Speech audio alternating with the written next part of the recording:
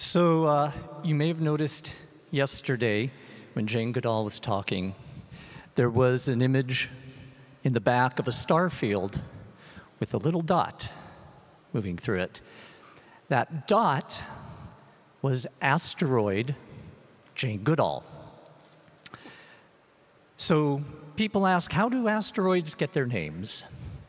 Well, there's an international astronomical union that manages names of things like asteroids and planetary features and things like that.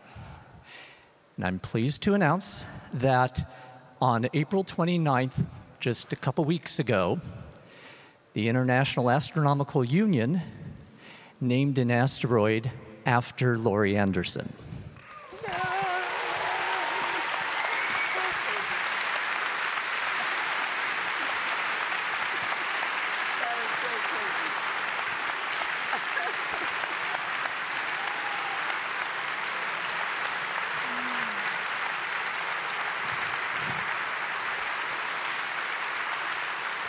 So the citation for this asteroid reads Laurie Anderson, born 1947, is an American musician, composer, visual artist, writer, and director whose debut album was titled Big Science.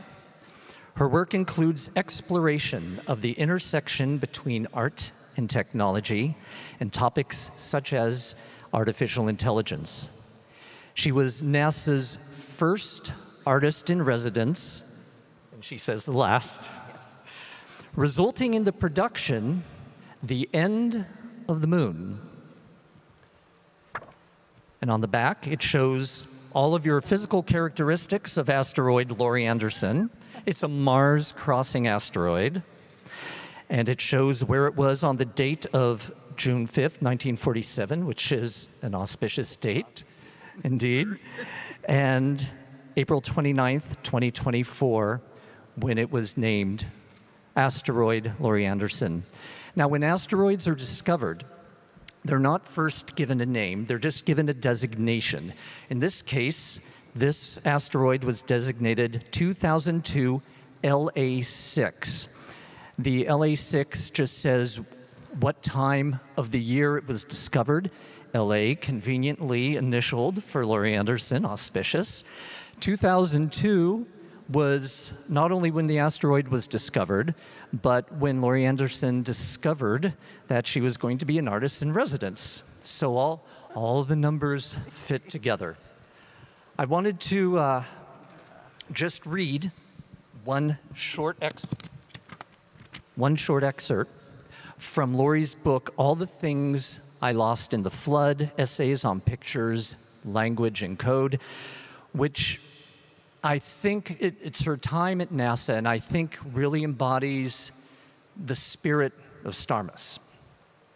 She says, One of the things I learned at NASA was that artists and scientists have a lot more in common than I thought, because scientists don't know what they're looking for either.